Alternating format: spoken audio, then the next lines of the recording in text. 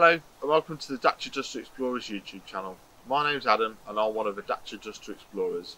In these videos you'll see myself and other explorers driving green lanes, commonly known as the hobby of green laning.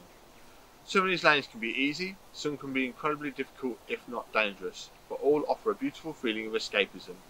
If you have any doubt about the green lane you're driving, get out and walk the lane first, making a mental note of places to turn around if needed and thinking about strategies to overcome difficult sections because reversing after a failed attempt to get along the lane can be incredibly difficult and very risky.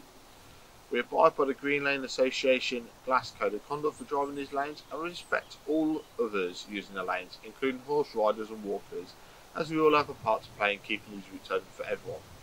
If you're thinking of green laning yourself, please consider joining the Green Lane Association to help fight to keep these lanes open and to help you understand more about this hobby. They also have a Trailwise 2 website which will significantly aid in your planning.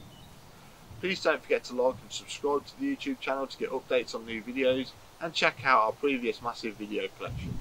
For more information head to the website www.daciadusterexplorers.co.uk and finally, thanks for watching, stay safe and enjoy your trips.